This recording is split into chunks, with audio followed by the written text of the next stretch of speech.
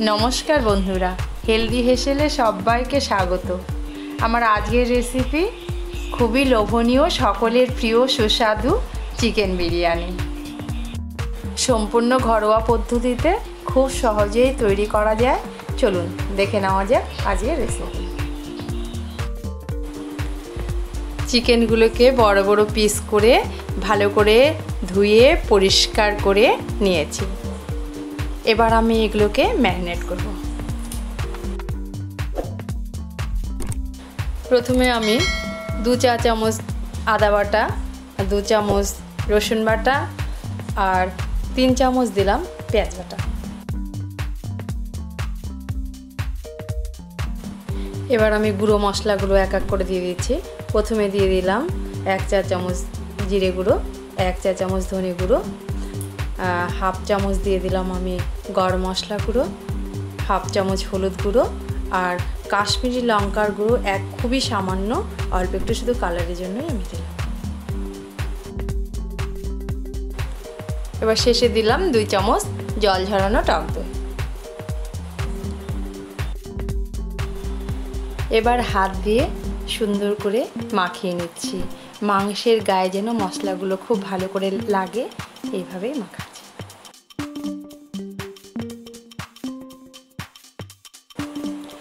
এবার এক চামচ কেওড়া জলও এর মধ্যে অ্যাড করছি।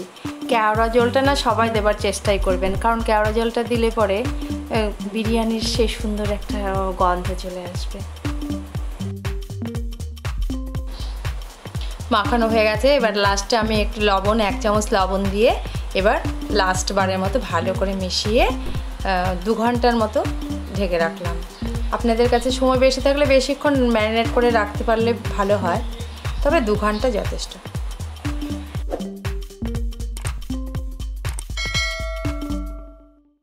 মাংস ম্যারিনেট করতে রেখে দিয়েছি। এই ফাঁকে আমি অন্য কাজগুলো সেরে নিচ্ছি। এক কিলো মাংসের জন্য আমি এখানে সাড়ে সাতশো গ্রাম বাসমতি চাল নিচ্ছি। এই চালটাকে আমি ভালো করে নিয়ে, ভালো করে জল দিয়ে, পাঁচ ছবার জল দিয়ে ধুয়ে ধুয়ে পরিষ্কার জল যখন আসবে, তখন আমি ভিজিয়ে রাখব। ভিজিয়ে রাখব, পনেরো থেকে কুড়ি মিনিটের জন্য ভিজিয়ে রেখে আমি আবার এটাকে তুলে নেব থালাতে। একটা বাটিতে এক হাতা গরম দুধ নিলাম, এর মধ্যে এক পিঞ্চ কেশর ছেড়ে দিয়ে ঝুঁকানোর জন্য ভিজিয়ে রাখলাম।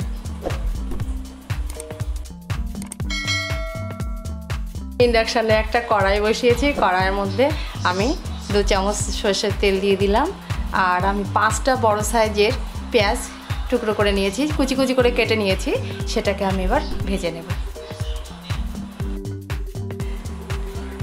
ইন্ডাকশানের ভোল্টেজটা কমিয়ে অনেকক্ষণ ধরে পেঁয়াজগুলোকে ভাজতে হবে, যতক্ষণ পর্যন্ত না এর ব্রাউন কালারটা আসে। আবার বেশি ভাজারও দরকার নেই, বেশি ভেজে ফেললে কি হবে জানেন তো? পেঁয়াজগুলোকে স্বাদটা ঠিক থাকবে না তেতকুটে লাগবে, আর এর খাদ্যগুলো নষ্ট হয়ে যাবে। সেই জন্য আমি এইরকম একটু সফট সফট করে ভেজে নেব।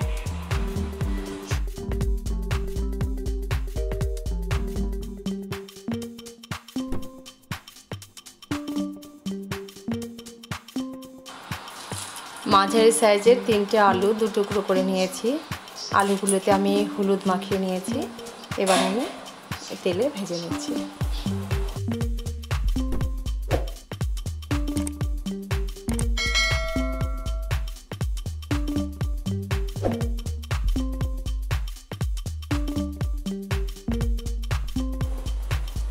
ওই একই কড়াইয়ে আরও টু টেবিল স্পুন তেল দিয়ে দিলাম। এবার আমি এক এক করে সব ফোড়ন দেব।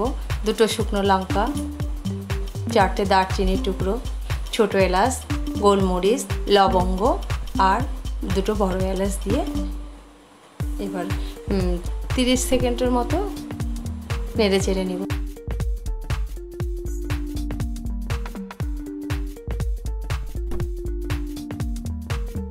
ম্যারিনেট করে রাখা মাংসগুলি এর মধ্যে ছেড়ে দিচ্ছি।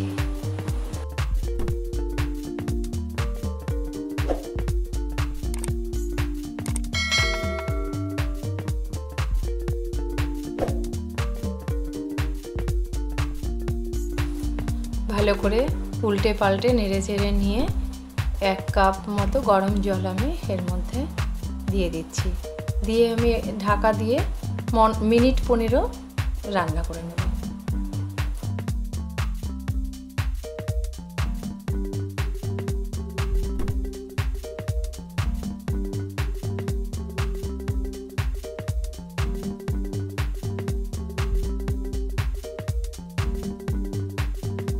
পনেরো মিনিট পর সুন্দর হয়েছে, মাংসগুলো সিদ্ধ হয়েছে। এই পনেরো মিনিটের মধ্যে আমি আরও দুবার ঢাকনা খুলে দেখেছিলাম। নেড়ে চেড়ে উল্টে পাল্টে দিয়েছি, আবার চারটা কাঁচা লঙ্কাও আমি এর মধ্যে দিয়েছিলাম।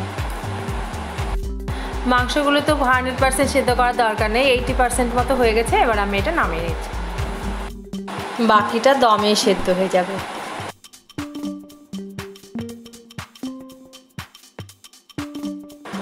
একটি বড় পাত্রে জল বসিয়েছি।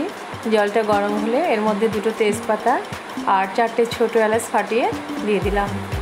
আর লবণও দিয়ে দিলাম পরিমাণ মতো। তারপরে জলটা ফুটে উঠলে আমি ভিজিয়ে রাখা চালগুলো ছেড়ে দেবো।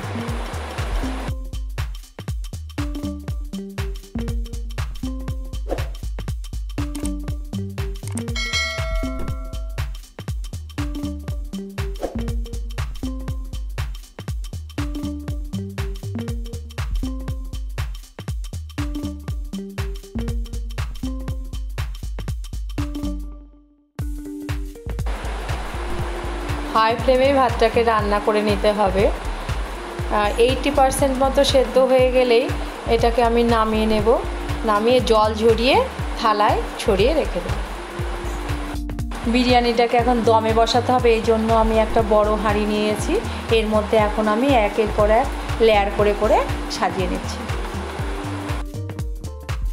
সবার নিচে আমি দু হাতার ঝোল দিয়ে দিলাম, মাংসেরই এই ঝোলটা। ঝোলটা দিয়ে দেওয়ার একটা ফায়দা আছে, কারণ হচ্ছে লেগে যাবে না তলা থেকে। এরপরে আলু দিয়ে দিলাম।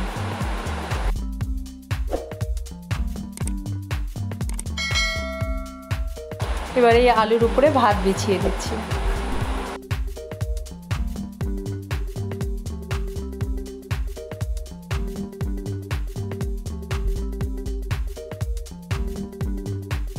এবার বেরেস্তাগুলোকে ছড়িয়ে দিলাম। এর উপরে এক মুঠো ভাত ছড়িয়ে এবার মাংসের পিসগুলো এর মধ্যে সাজিয়ে দিচ্ছি।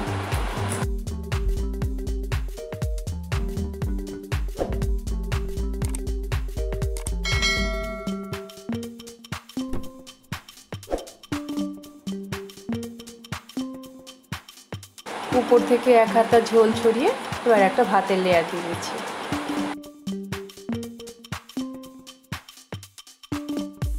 আবার বেরেস্তাগুলো ছড়িয়ে দিচ্ছি। একটু আলু ছিল সেটাও দিয়ে দিলাম।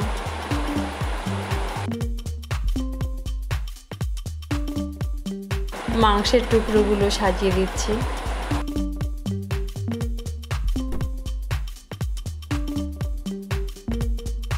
এবার আবার ভাতের লেয়ার করছি।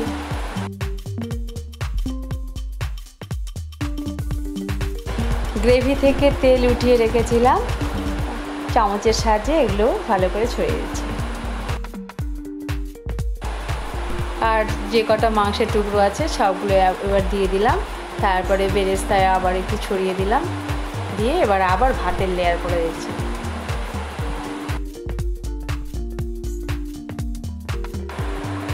কেশর ভিজিয়ে রাখা দুধগুলো এবার এর মধ্যে দিয়ে দিচ্ছি। ওয়ান স্পুন বিরিয়ানি মশলা এবার এর মধ্যে ছড়িয়ে দিলাম।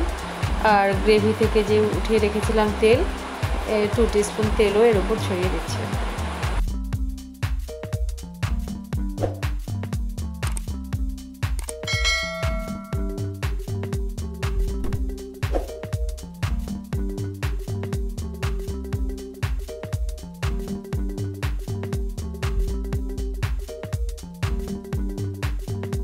বেরেস্তা দিয়ে তার উপরে আবার ভাতের লেয়ার করে দিলাম।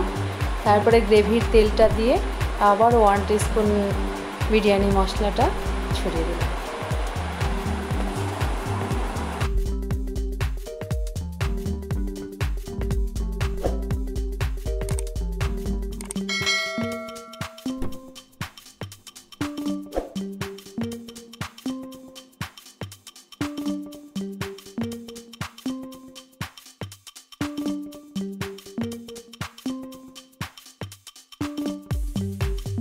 এরপরে আবার ভাত ছড়িয়ে দিলাম, দিয়ে লাস্ট চারটা ডিম আছে, ওই চারটা ডিম এবার হাঁড়ির মুখে দিয়ে দিলাম।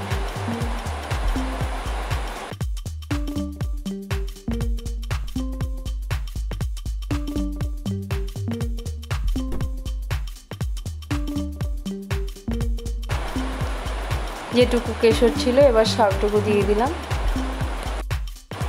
সামান্য একটু বিরিয়ানি মশলা আর ওই গ্রেভির তেল ছড়িয়ে দিলাম।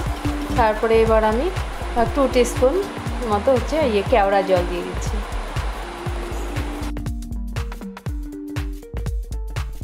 ঢাকনাটা দিয়ে মুখটা বন্ধ করে দিলাম আর আটা দিয়ে, আটাটা একটু গুলিয়ে জল দিয়ে ইয়ে করে নিয়েছি, নরম করে নিয়েছি, সেটা দিয়ে চারদিকটা সিল করে দিলাম। দিয়ে আমি এবার এটা দমে বসাবো। একটা মোটা তাওয়ার উপরে হাঁড়িটাকে বসিয়েছি। লো ফ্লেমে কুড়ি থেকে বাইশ মিনিট আমি এইভাবে রেখে দেব।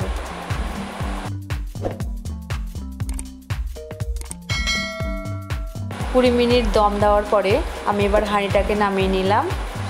মুখে যে আটাগুলো লেগে আছে সেগুলোকে সরিয়ে দিলাম। সরিয়ে দিয়ে এবার আমি স্পুনের সাহায্যে দেখছি। একদম ঝরঝরে সুন্দর বিরিয়ানি হয়ে গেছে। একদম দারুণ।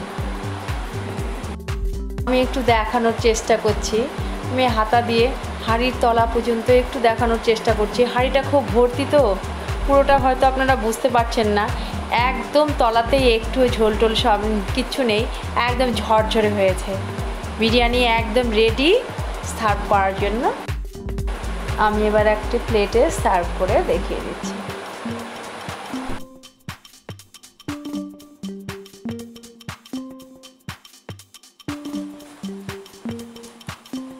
দেখুন, দারুণ হয়েছে। দেখতেও যেমন সুন্দর, খেতেও খুব সুন্দর, অসাধারণ খেতে হয়েছে। আপনারাও সকলেই এভাবে রান্না করে খাবেন। সকলেরই ভালো লাগবে। সকলেই ভালো থাকুন, সুস্থ থাকুন, আর আমাকে অবশ্যই সাপোর্ট করুন। সকলের জন্য শুভেচ্ছা